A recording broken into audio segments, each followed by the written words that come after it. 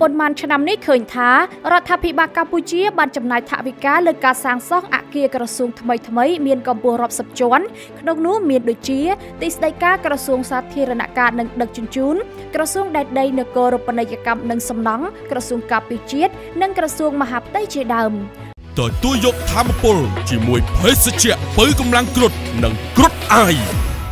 1ក្រសួងមហាផ្ទៃអ គារក្រសួងមហាផ្ទៃថ្មីបានសាងសង់ឡើងនៅលើទីតាំងចាស់តាមបណ្ដោយផ្លូវនរោត្តមក្នុងសង្កាត់ទន្លេបាសាក់ខណ្ឌចំការមនរាជធានីភ្នំពេញគិតមកដល់ពេលនេះដំណើរការសាងសង់មានរយៈពេលជាង1ឆ្នាំហើយគ្រោងបញ្ចប់នៅខែសីហាឆ្នាំ2023អគារទីស្តីការក្រសួងមហាផ្ទៃថ្មីនេះមានផ្ទៃក្រឡាធំបើប្រៀបធៀបទៅនឹងសំណង់អគាររដ្ឋផ្សេងទៀតសំណង់សាងសង់ឡើងចំណាយថវិកាប្រមាណ60លានដុល្លារអាមេរិកមានកម្ពស់9ជាន់អគារក្រសួងមហាផ្ទៃថ្មី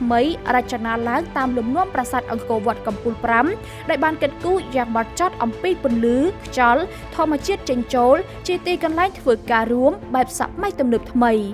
2ក្រសួងរៀបចំដែនដីនគររូបនីយកម្មនិងសំណង់អគារក្រសួងរៀបចំដែនដីនគររូបនីយកម្មនិងសំណង់ជាសមិទ្ធផលមួយទៀតក្នុងការលើកកម្ពស់តម្លៃស្ថាបត្យកម្មខ្មែរជាមោទនភាពសម្រាប់ជាតិអគារទីស្តីការក្រសួងរៀបចំដែនដីនគររូបនីយកម្មនិងសំណង់ថ្មីនេះមានទីតាំងស្ថិតនៅភូមិអន្លង់កងាន សង្កាត់ក្មួយខណ្ឌសែនសុខនាប៉ែកខាងជើងឈៀងខាងលិចរាជធានីភ្នំពេញសាងសង់ឡើងនៅលើផ្ទៃដីទំហំ4កណ្ដកសញ្ញា5ហិកតា មានចំនួន8ជាន់មានបណ្ដោយប្រវែង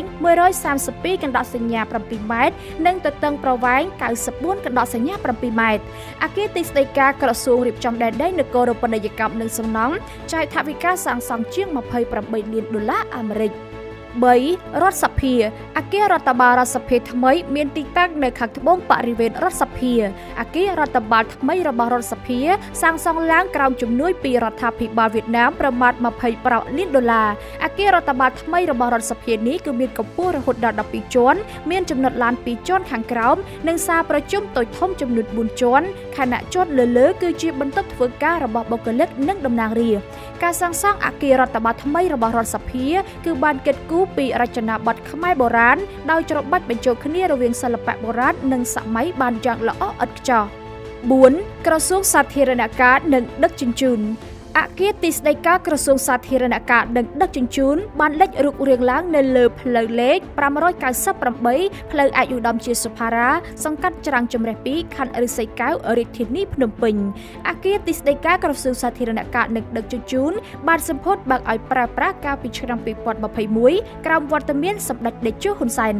អគារទីស្តីការក្រសួងសាធារណការនិងដឹកជញ្ជូនបានសាងសង់ឡើងលើផ្ទៃដីជិត4ហិកតាក្នុងនោះមានអគាររដ្ឋបាលកម្ពស់9ជាន់និងអគាររដ្ឋបាល2ខ្នង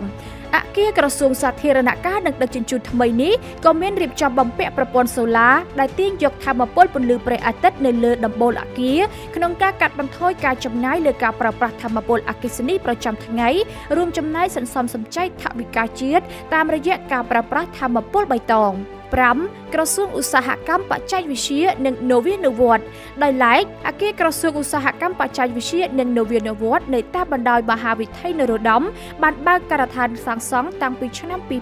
2019ការសាងសង់សំណង់អគារក្រសួងឧស្សាហកម្មថ្មីគឺដើម្បីផ្ដល់កន្លែងធ្វើការសមរម្យសម្រាប់ថ្នាក់ដឹកនាំនិងមន្ត្រីរាជការដែលបច្ចុប្បន្នមានលក្ខណៈតូចចង្អៀតអគារថ្មីកម្ពស់18ជាន់នេះមានសាលប្រជុំតូចធំជាច្រើនដាច់ដោយឡែកដោយឡែកពីគ្នាក្នុងនោះក៏មានសារប្រជុំធំជាលក្ខណៈ Video Conference បំពាក់ដោយគ្រឿងបរិក្ខារអេឡិចត្រូនិកទំនើបទំនើបផងដែរយ៉ាងណាមិញអាគារថ្មីនេះក៏មានចំណុចរថយន្តចំនួន4ជាន់ដោយប្រើជណ្ដើរយន្តបច្ចេកវិទ្យាខ្ពស់ចុងក្រោយក្នុងការអូសទាញរថយន្តពីជាន់ខាងលើទៅជាន់ខាងលើនីមួយៗប្រកបដោយសុវត្ថិភាពខ្ពស់6ក្រសួងការពារជាតិ អគារក្រសួងកម្ពុជាថ្មីសាងសង់ឡើងដោយក្រុមហ៊ុន China Railway Urban Construction Group Co. Limited ដែលជាក្រុមហ៊ុនបិទសម្ព័ន្ធរបស់ក្រុមហ៊ុន China Railway Construction Corporation Limited អគារក្រសួងការពារជាតិថ្មីនេះគឺបានបើកការដ្ឋានសាងសង់នៅឆ្នាំ2018និងបញ្ចប់ដាក់ឲ្យប្រើប្រាស់នៅឆ្នាំ2021លក្ខណៈពិសេសរបស់អគារទីស្តីការថ្មីរបស់ក្រសួងការពារជាតិនៅលើដំបូលអគារអាចឲ្យឧទ្ធម្ភាគចក្រចោះចតបានថែមទៀតផងគួរបញ្ជាក់ថាក្រៅពីអគារសំណង់ក្រសួងប៉ុន្មានខាងលើដែលមួយចំនួនបានសម្ពោធឲ្យប្រើប្រាស់និងមួយចំនួនទៀតនឹងបញ្ចប់ក្នុងពេលឆាប់ឆាប់នេះក៏នឹងមានសំណង់អគារស្ថាប័នរដ្ឋផ្សេងទៀតត្រូវបានសាងសង់រួចជាបន្តបន្ទាប់ដូចជាអគារអគ្គនាយកដ្ឋានគយនិងរដ្ឋកោកម្ពុជានៅលើបណ្ដោយមហាវិថីព្រះនរោត្តមអគារស្នាក់ការកណ្ដាលបេឡាជាតិសន្តិសុខសង្គមឬហៅកាត់ថាបសសកម្ពស់21ជាន់នៅខណ្ឌសែនសុខក៏ដូចជាអគារសាលាយុត្តិធម៌នៅតំបន់ព្រែកលៀបជាដើម។